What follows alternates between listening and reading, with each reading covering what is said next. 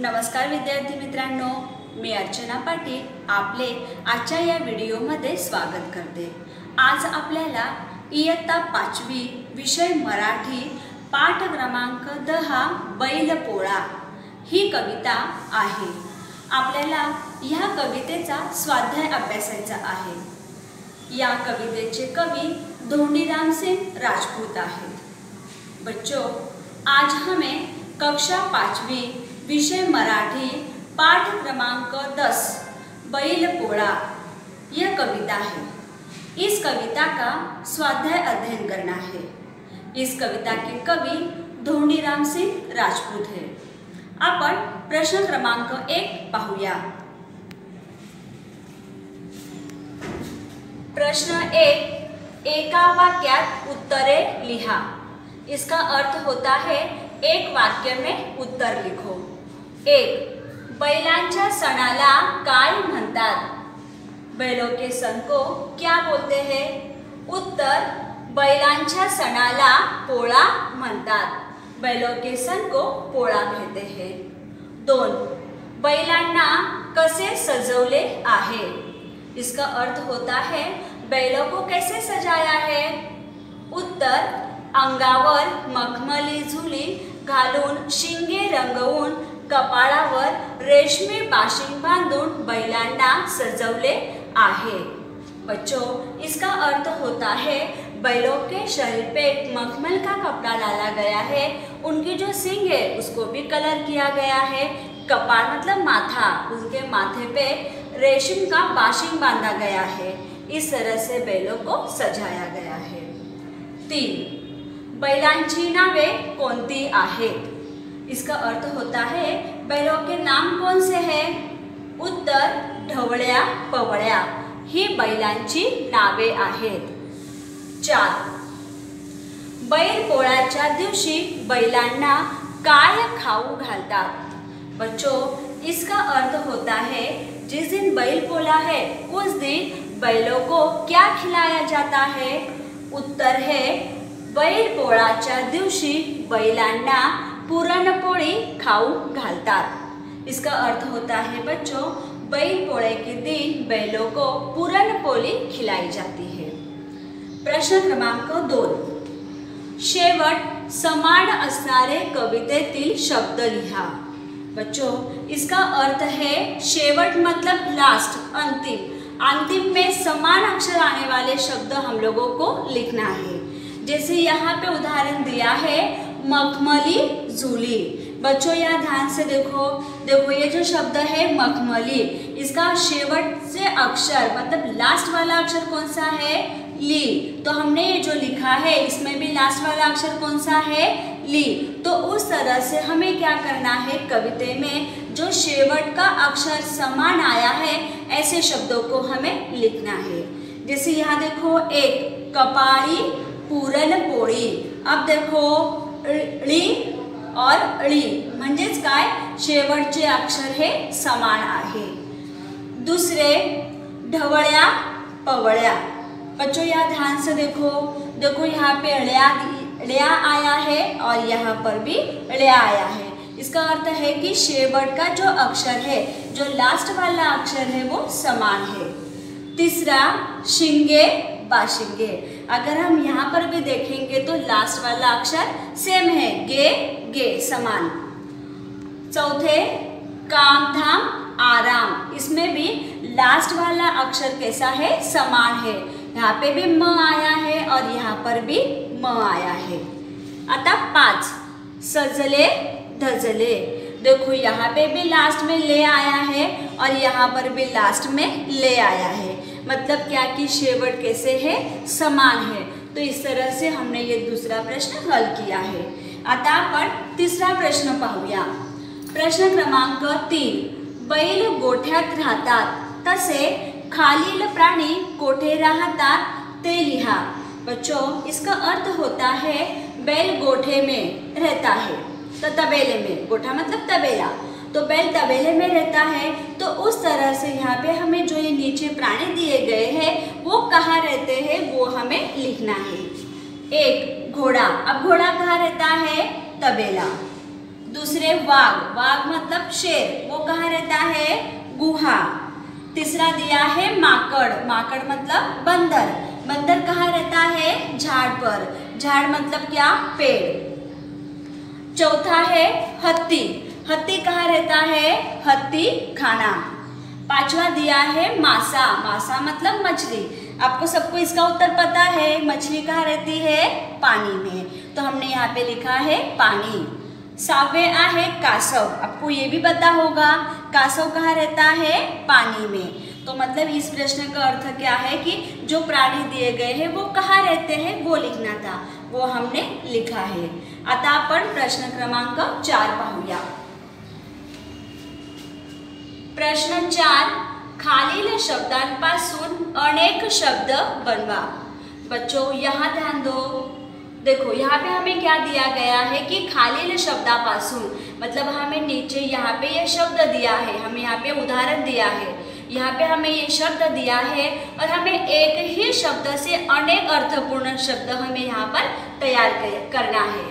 देखो, यहाँ पे दिया है कपाड़ी कपाड़ का अर्थ होता है ये हमारा माथा. तो इससे हमें बहुत सारे शब्द बनाना है।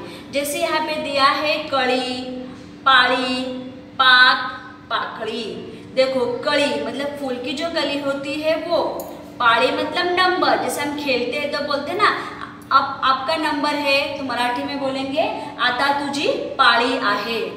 पाक, हम लोग शक्कर का पाक बनाते हैं, गुड़ का पाक बनाते हैं, आणि पाकड़ी। छोटी सी फूल की पंखड़ी, उसको बोलते हैं पाकड़ी। तो इस तरह से हमें क्या करना है? पूरन पोड़ी और गाँव भर इससे हमें अनेक अर्थपूर्ण शब्द तैयार करना है। देखो अब यहाँ पे दिया है पूरन पोड़ी। तो हमने यहाँ पे पूरन पोड़ी से शब्द तैयार किए। पूरन पोड़ी रन पोर। अब पूरन का अर्थ होता है जो हम पूरन की पोली बनाते हैं और उसमें जो मसाला भरते हैं उसको बोलते हैं पूरन। और पोड़ी मतलब आपको पता ही है, रोटी। रन मतलब मैदान, लड़ाई का मैदान और पोरा मतलब बच्चे।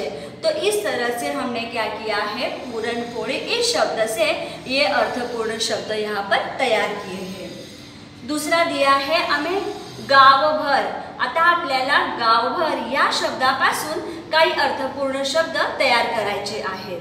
जैसे हमने यहाँ पे तैयार किए हैं, गाव भर गार, वर, भरव. देखो बच्चों, इसी में से हमने क्या किया है? शब्दों को लिया है। देखो, जैसे गाव तो यहाँ पे गा व देखो भ र भ र फिर गा र गा र व र व र और फिर भ, र, व, देखो। भ, र, व। तो हमने क्या किया है? इसी में से ये शब्द लिया है। अब गाँव का अर्थ सबको पता है। गाँव। अब भर। मतलब कुछ भी चीज़ रखना, भरना। गार मतलब ठंडा। वर मतलब ऊपर। और भरव मतलब जैसे मम्मी हमें खाना खिला रही है तो हम बोलेंगे, आई मला जेवण भरव। मतलब आई मुझे खाना खिला। तो इसका अर्थ होता है भर, भरव। अब सबको ये प्रश्न क्रमांक चार समझ में आया होगा। अब हम प्रश्न क्रमांक पाँच देखते हैं। अब प्रश्न क्रमांक पाँच में सजले धजले अशा शब्दांना जोड शब्द म्हणतात। कवितेत आलेले खालील जोड शब्द वाचा। जसेच्या तसे पाहून लिहा। असे आणखी काही जोड शब्द लिहा। बच्चों, इसका अर्थ क्या है? सजले धजले, ये जोड़ शब्द है। देखो अशांना जोड़ शब्द म्हणतात मतलब ये क्या है? जोड़ शब्द है। तो इसी तरह से कविता में भी कुछ जोड़ शब्द आए हैं। तो हमें क्या करना है? जैसे चा तसे मतलब जैसे दिए हैं, वैसे ही उसको लिखना है। लिहा ऐसे असे आणखी काही जोड़ शब्द लिहा, और ऐसे और भी हमें जोड़ शब्द यहाँ पर लिखना है। अभी देखो, कामधाम और पूरनपोड़ी ये जो शब्द है, ये शब्द कविता में थे। तो वैसे ही हमें क्या करना है, और भी जोड़ शब्द लिखना है। जैसे हमने यहाँ पे लिखा है, सजले धजले। अभी ये भी कविता में था, सजले धजले ढवड़िया पवड़िया बच्चों, याद आ रहा आपको? ढवड़ा पवड़िया क्या था? हाँ बैलों के नाम। तो मतलब ये कैसे है? जोड़ शब्द है। तो वैसे ही हमें भी और भी जोड़ शब्द लिखना है। शेजारी, पाजारी। दिवस, रात्र। घर दार आडवा तिडवा. इस तरह से हमने यहाँ पर जोड शब्द लिखा है. आता आपण प्रश्न क्रमांक सहा पाहूया. प्रश्न क्रमांक सहामध्ये गावभर मिरवणे म्हणजे संपूर्ण गावातून फिरणे. खालील शब्दांना भर हा शब्द जोडा आणि वाक्यात उपयोग करा. देखो बच्चों गाँव भर मिरवने इसका अर्थ दिया है संपूर्ण गाँव में फिरने मतलब पूरा गाँव में घूमना। तो मतलब देखो, गावी शब्द को भर ये जोड़ा गया है। तो वैसे ही हमें क्या करना है, नीचे कुछ शब्द दिए गए हैं, उनको हमें भर, ये शब्द जोड़ना है। ये भर ये शब्द हमें लगाना है और साथ में हमें वाक्य में उसका उपयोग भी करना है। समझ में आया सबको? देखो एक बार फिर से सुनो। क्या करना है? नीचे हमें जो शब्द दिए हैं, उनको हमें भर ये शब्द जोड़ के वो शब्दों को लिखना है और उसका हमें वाक्य में उपयोग करना है। देखो, हमें यहाँ पे उदाहरण दिया है पोत अब देखो, यहाँ पे पोत से वाक्य बनाया गया है बाबांनी पोतभर धान्य आणलं आता पोत पोत मतलब क्या? जो गोनी होता है ना, वो गोनी। गोनी को मराठी में पोत बोलते हैं। तो बाबा ने पोतो भर धान्य मतलब अनाज लाए। तो इस तरह से पोतो ये शब्दों को भर भी लगाया गया और वाक्य भी तैयार किया गया है। तो इस तरह से हमें यहाँ पे क्या करना है? तोड़, पिशवी, हाथ, घर। इस शब्दों को भर ये शब्द जोड़ के लिखना है और उसका वाक्य में उपयोग भी करना है। देखो, तोड़, भर, पिशवी, भर, हाथ भर घर भर इस तरह से शब्द तैयार होते हैं। वो हम आगे देखते हैं। देखो, हमने यहाँ पे शब्द तैयार किए हैं। तोंड भर पिशवी भर हात भर घर भर। आता आपण काय करूया? या शब्दांपासून वाक्य तैयार करूया। अब हम क्या करेंगे बच्चों? इस शब्द से हम वाक्य तैयार करेंगे। जैसे हमने यहाँ पे वाक्य तैयार किया है, रंग पंचमीच्या दिवशी तोंडभर रंग लावतात। देखो, हमने वाक्य तैयार किया है और उस वाक्य में हमने तोंडभर इस शब्द का उपयोग किया है। बच्चों, इसका अर्थ होता है रंग पंचमी के दिन सब लोग क्या करते हैं? तोंड भर मतलब पूरे मुँह भर में रंग लगाते हैं। अब हम दूसरा देखते हैं। दूसरा है पिशवी भर। पिशवी का अर्थ होता है थैली। अब उससे हमें वाक्य तैयार करना है। हमने यहाँ पे वाक्य तैयार किया है, आजी ने मला पिशवी भर शेंगा दिल्या। बच्चों, इसका अर्थ होता है आजी।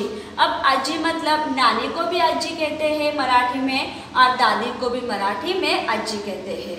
तो आजी ने मला मतलब मुझे पिशवी भर शेंगा शेंगा मतलब मूंगफली। तो आजी ने मुझे क्या किया? थैली भर के मूंगफली दी। तो इस तरह से हमने क्या किया है? पिशवी भर इस शब्द से ये वाक्य तैयार किया है। आता आपण हातभर या शब्दापासून वाक्य बनवूया।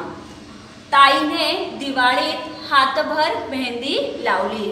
आपको इसका अर्थ समझ में आया होगा कि इसका अर्थ क्या है? ताई मतलब बड़ी बहन। बड़ी बहन ने क्या किया है? दिवाली में पूरा हाथ भर के मेहंदी लगाया है। आया समझ में बच्चों? आता चौथे आपण बघूया भर भर मतलब पूरा घरभर में।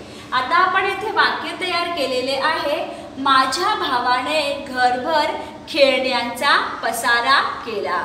बच्चों, इसका अर्थ होता है, भावाने मतलब भाई ने मेरे भाई ने पूरे घर भर में खिलौने का पसारा किया मतलब पूरा खिलौना फैला दिया है। तो हमने यहाँ पर क्या किया है? इस तरह से इस शब्दों को भर भी लगाया है और उसके वाक्य भी तैयार किए हैं। आता आपण प्रश्न क्रमांक सात पाहूया। प्रश्न क्रमांक सात आहे, तुमच्या आवडत्या प्राण्याची माहिती पाँच वाक्यात लिहा। बच्चों, इसका अर्थ होता है, आपका जो अवड़ता प्राणी है, जो आपका मनपसंद प्राणी है, उसके बारे में हमें यहाँ पे पाँच वाक्य लिखना है। अभी आपका कोई भी दूसरा आवड़ता प्राणी हो सकता है, लेकिन मैंने यहाँ पर लिखा है, माझा आवड़ता प्राणी कुत्रा। मतलब मेरा मनपसंद प्राणी कौन सा है? कुत्रा। तो उसके बारे में हमें यहाँ पर लिखना है। ध्यान से देखो बच्चों, मैं पढ़ रही हूँ। अनेक प्राण्यांमध्ये कुत्रा हा माझा आवडता प्राणी आहे. कुत्रा प्रामाणिक असतो. कुत्रा हा एक पाळीव प्राणी आहे. आमच्या घरी एक कुत्रा आहे. त्याचे नाव फायटर आहे. तो आमच्या आज्ञा पाळतो. तो आमच्या घराचे रक्षण करतो. त्याचे डोळे पाणीदार आहेत. आई त्याला खायला दूध चपाती देते. अनोळखी माणूस घरी आला की फायटर त्याच्यावर भुंकतो मी त्याचे लाड करते. फाइटर मला अत्यंत प्रिय है बच्चों को समझ में आया मैंने यहाँ पे मराठी में बताया है? ठीक है, चलो मैं अभी आप लोगों को इसको हिंदी में समझाती हूँ. अनेक प्राण्यांमध्ये कुत्रा मतलब बहुत सारे प्राणियों में कुत्रा ये मेरा मनपसंद प्राणी है. कुत्रा ये प्रामाणिक होता है, वफादार होता है. कुत्रा ये पाळीव प्राणी है मतलब पालतू जानवर है. आमच्या घरी, हमारे घर में भी एक कुत्ता है, कुत्रा आहे. त्याचे नाव काय आहे? फाइटर तो आमच्या आज्ञा पाळतो. मतलब हमने जो उसको आज्ञा दी है, जो हमने उसको ऑर्डर किया है, वो उसको मानता है. वो हमारे घर की रक्षा करता है. अब उसके डोळे डोळे मतलब नयन, आँख. उसके आँख कैसे है? पानीदार. मतलब पानी जैसे उसकी आँखें दिखाई देती है. आई त्याला खायला दूध आणि चपाती देते. आई उसको क्या देती है खाने के लिए? दूध और चपाती मतलब रोटी देती है. अनोळखी मानुस अनोळखी मतलब क्या? जिसको हम जानते नहीं है, पहचानते नहीं है, ऐसे व्यक्ति को हम अनोळखी व्यक्ति कहते हैं. अगर हमारे घर पे अगर ऐसे कोई अनोळखी मानुस मानुस मतलब व्यक्ति, अगर कोई अनोळखी व्यक्ति आता है तो फाइटर क्या करता है? उसके ऊपर भोगता है. मी त्याचे खूप लाड करते और मैं उसका बहुत लाड करती हूँ। फाइटर हा मला अत्यंत प्रिय आहे. फाइटर ये मुझे एकदम प्रिय है। तो इस तरह से हमने यहाँ पे क्या किया है? कुत्रा इस प्राणी के बारे में लिखा है। आता आपण पुढचा प्रश्न पाहू।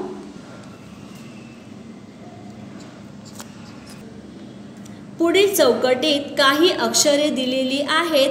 त्या अक्षरांपासून काही फुलांची नावे तैयार होतात. ती शोधा व लिहा. बच्चों, इसका अर्थ होता है, नीचे हमें चौक, यहाँ पे हमें चौकट दी गई है. उसमें बहुत सारे हमें अक्षर दिखाई दे रहे हैं. तो इन अक्षरों से फूलों के नाम तैयार होते हैं। तो हमें क्या करना है? यहाँ पे जो अक्षर दिए गए हैं, उससे हमें फूलों के नाम तैयार करना है। देखो यहाँ यहाँ पे हमें एक अक्षर तैयार करके दिया है, पारिजातक। मतलब इन अक्षरों से एक फूल तैयार करके दिया है, पारिजातक। तो वैसे ही हमें क्या करना है? यहाँ पे फूल के नाम तैयार करना है। देखो, यहाँ पे हमने एक फूल का नाम तैयार किया है जू ई तो हमने यहाँ पे लिखा है, जुई। अब उसके बाद हमने यहाँ पे तैयार किया है गुल छड़ी मतलब गुल छड़ी तो हमने यहाँ पर लिखा है गुल छड़ी उसके बाद आगे हमने यहाँ पे एक शब्द तैयार किया, फूल का नाम तैयार किया है, चाफा। तो हमने यहाँ पे भी लिखा है, चाफा। अब उसके बाद हमने यहाँ पे तैयार किया है झेंडू। तो हमने यहाँ पे लिखा है झेंडू। देखो बच्चों, हम लोग क्या कर रहे हैं? यहाँ पे हमें जो अक्षर दिए गए हैं, उसी अक्षरों से हम फूलों के नाम तैयार कर रहे हैं। अब उसके बाद हम लोग तैयार करते हैं सदा फूली। ये भी फूल का नाम है, सदा फूली। तो हमने यहाँ पे तैयार किया है सदा फूली। अब उसके आगे हम चलते हैं। देखो, उसके आगे हमने तैयार किया है गुलाब। देखो, हमने यहाँ पे लिखा है गुलाब। अब उसके आगे हम देखेंगे तो यहाँ पे हमें दिखाई दे रहा है कमल। तो हमने यहाँ पे लिखा कमल। सबको समझ में आ रहा है ना? अब उसके आगे शेवंती, ये भी फूल का नाम है। तो हमने यहाँ पे लिखा है शेवंती। सबको आया समझ में? अब उसके आगे देखो बच्चों, मोगरा मतलब मोगरा। तो हमने यहाँ पे लिखा है मोगरा। तो इस तरह से हम क्या कर रहे हैं, यहाँ पे फूलों के शब्द तैयार कर रहे हैं। आगे देखो बच्चों, यहाँ जासवंद, ये भी फूल का नाम है। तो हमने यहाँ पे जासवंद ये फूल का नाम लिखा है। अब आगे देखो बच्चों, आ रहा है सबको समझ में? अब यहाँ पे देखो, एक और हमें मिला है अबोली तो हमने यहाँ पे लिखा है अबोली तो इस तरह से हमने यहाँ पे क्या किए हैं? फूलों के नाम तैयार किए हैं। अब यहाँ देखो, जा ई, जाई मतलब ये भी एक फूल है तो हमने यहाँ पे लिखा है जाई। तो इस तरह से हमने यहाँ पे क्या किया है? यहाँ पे जो हमें चौकट दी है, उस चौकट में से हमने यहाँ पे फूलों के नाम तैयार किए हैं। आता आपण बैलपोळा या पाठाचा स्वाध्याय पाहिला। आता तुम्हाला काय करायचे आहे? फळ्यावर जो स्वाध्याय दिलेला आहे तो सर्व स्वाध्याय आपल्या वहीत लिहायचा आहे. आणि ज्या दिवशी आपला ग्रुप ओपन होतो म्हणजे शुक्रवार आणि शनिवार त्या दिवशी तुम्ही जो स्वाध्याय तुमच्या वहीमध्ये लिहिलेला आहे तो तुम्हाला आपल्या ग्रुपमध्ये टाकायचा आहे. बच्चों इस तरह से हमने क्या किया है? बैल पोड़ा इस कविता का स्वाध्याय किया है. अब आपको क्या करना है? फलक पे जो स्वाध्याय लिखा गया है, उस स्वाध्याय को आपकी बुक में लिखना है। और जिस दिन हमारा ग्रुप ओपन होता है मतलब शुक्रवार और शनिवार को, उस दिन आपने जो स्वाध्याय आपकी बुक में लिखा है, उसको ग्रुप में भेजना है। धन्यवाद बच्चों। मिलते हैं हम अगले